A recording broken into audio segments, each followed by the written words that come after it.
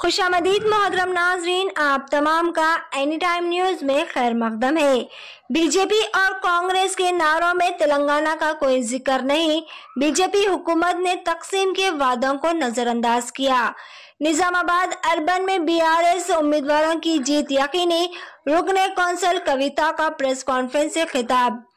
BJP का सबका साथ सबका विकास, नारों में तेलंगाना का कोई ज़िक्र नहीं और न ही कांग्रेस के नारों में तेलंगाना का कोई ज़िक्र है इन ख्याल का इजहार आज बतारीख सात नवंबर को रुकने तेलंगाना कानून साज कौंसल के कविता ने निजामाबाद में अपने रिहाइश गाह पर प्रेस कॉन्फ्रेंस से खिताब करते हुए कहा, बीआरएस कायदी ने अवाम को गौर करने के लिए दरख्वास्त की है कि जो सियासी जमातें तेलंगाना की तरक्की की फ़िक्र नहीं करते, इन पार्टियों की हमें क्या ज़रूरत है?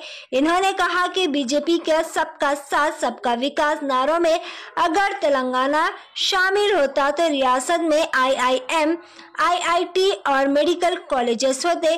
कविता ने कहा कि मरकजी बीजेपी हुकूमत ने तेलंगाना की तरक्की में कोई किरदार अदा नहीं किया, बल्कि बीजेपी हुकूमत ने फलाई कामों में रुकावट पैदा करने की कोशिश ज़रूर की है। इन्होंने कहा कि बीजेपी पार्टी ने तेलंगाना की तश्कील को कभी बर्दाश्त नहीं किया। कविता ने कहा कि न सिर्फ़ वज़ीर आज़म मोदी, बल्कि बीजेपी के हर लीडर ने तेलंगाना के बारे में तंजीर बातें की है।